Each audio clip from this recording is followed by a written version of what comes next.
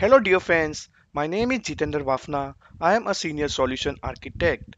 In today's video, we are going to see how to create API specification project using Anypoint Studio and then sync with Design Center using Git capabilities.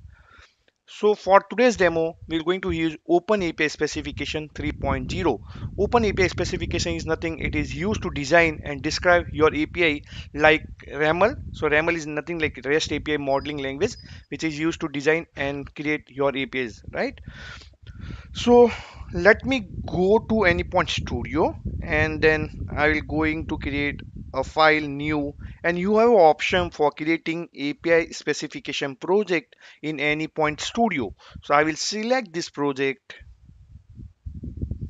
and make sure you are selecting a proper Anypoint platform username. So now I want to create my open API specification in this particular account so let me go to anypoint platform i am logging on already login on my anypoint platform that with that particular user right? Now you, if you see i don't have i haven't created any open api specification project here. So let me do one thing. Let me create a, some open api specification project here. I will say post blog api right from here you can select what kind of or what type of API or what type of API you have to design. So you have a RAML 1.0 0.8 so OAS 2.0 OAS 2.0 YAML OAS 3.0 JSON OAS 3.0 YAML. So in this demonstration I will be going to use OAS 3.0 YAML. Okay? Then I will click on finish so once I will click on finish, it will create a project into your Anypoint Studio and then also it will create your project in this design center. Let me refresh that and let's see if project has been created or not. So you can see a post blog API is already created and even if you'll see it must be created in your Anypoint Studio also. Right? So here uh, it will give some like uh, it will add some uh, initial information. So like you know if you if you can see info version title and even you can see it here the same thing will be available in this particular design center. So let me go and add some more information. So let me add contact information. In contact i want to add email. I can say jitendra at gmail.com then i want to add name. So i can say jitendra then I can add URL so basically I can provide my contact URL so I can say www.jitendra.com slash contacts. Okay. Then also like make sure you are giving the proper uh, uh, like you have add the you add the tag at a proper alignment. Then also I can provide terms and services. So my TNC is available you know on this particular website jitendra com slash tnc okay so i added some initial information and let's see if those information is reflected uh, into your design center or not. So let me refresh that. The answer is no. It will not going to reflect anything automatically now. So you have to use git you know uh, for uh, for sync the information between uh, anypoint studio and your design center. Just let me see. If you see it will it will like uh, provide a GUI uh, from where you can uh, like do the code check-in you know you can commit the code. So if you can see it saying like uh, saying like the post blog api.yaml is uh, is uh, there's some changes happen in this particular YAML file. So what I can do I can use this click on this add and I will just put a commit message initial changes. Okay? I will say commit and push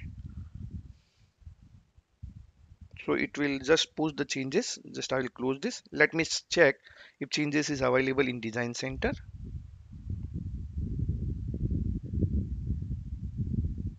Yeah you can see all the changes is available in your design center. Let me show you one more thing. So like uh, if you go to the project right? So let me copy this project path and let me just say run if you see it create dot git folder automatically and like uh, whenever you adding the code in the design center so back in the backend it is using the git you know uh, where uh, git repository. So here if you see the folder uh, you have a dot .git folder. Let me check this. Uh, yeah I think this is only the folder. And under the config you will find the repository URL open with notepad so this is the config file. You find uh, you will find the name email and you will also find this is my repository url where your open api specification is saved. Okay? So you can see that. And we are working currently working on the master branch. And if you go to design center you can see that. So we are working on the master branch. Right?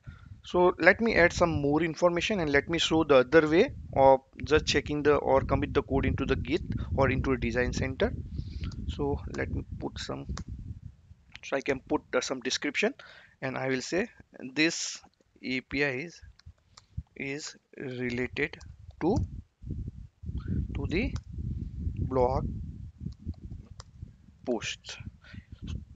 Okay? So if you see it also generating a document which is describing your API you can see it here.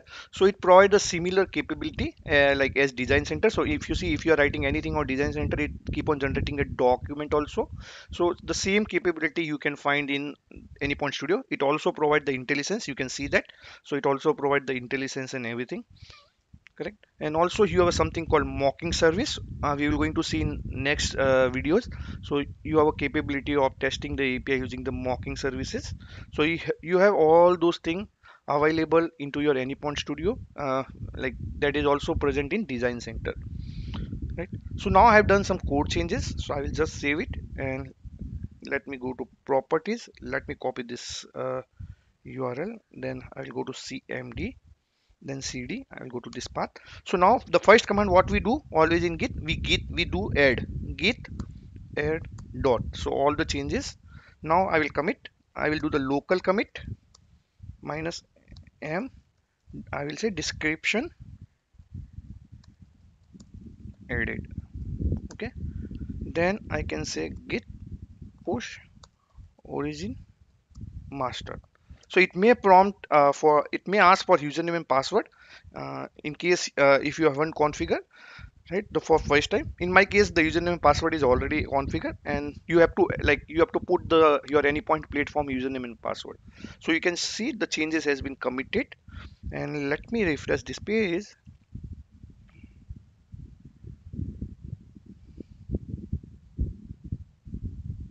So you can see you can find the description here right? And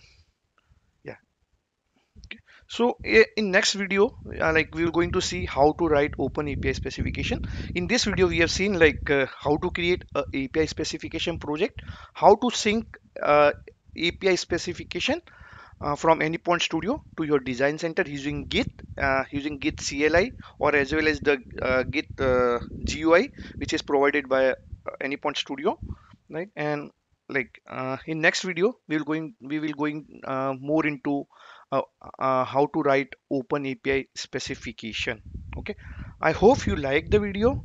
If you like the video please click on like and subscribe button. Thanks for watching